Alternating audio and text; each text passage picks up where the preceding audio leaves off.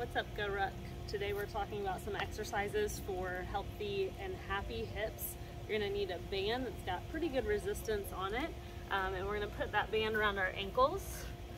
If your band is really tight, you may wanna put it just above your kneecaps. And you're gonna start with lateral walks. So keeping your feet hip distance apart and tension on the band the entire time. You're gonna step out, bring the foot in. Again, keeping tension on the band the whole time.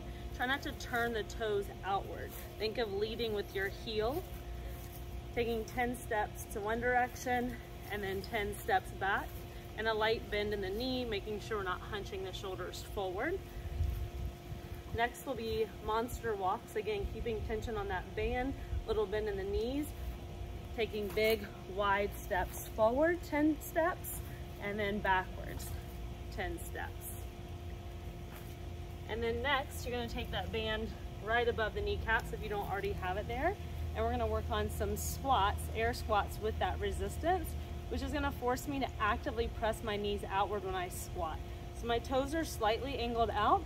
I'm gonna try to squat with my hips below parallel and my knees are still pointing in line with my toes and I'm actively pressing out against the band so it's not letting my knees shift inward really working those outer hips. Doing 10 reps there.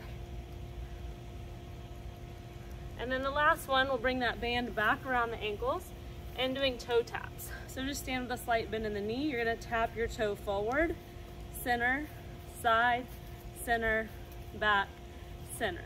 Again, not bringing the feet all the way together because then you lose tension on that band. So you're gonna do five total of those. Forward, side, and back is one, and then you'll do the other side. Five total. You'll repeat those four exercises for three rounds to get those hips warmed up for your squats or any leg uh, exercises or workouts that you're about to perform.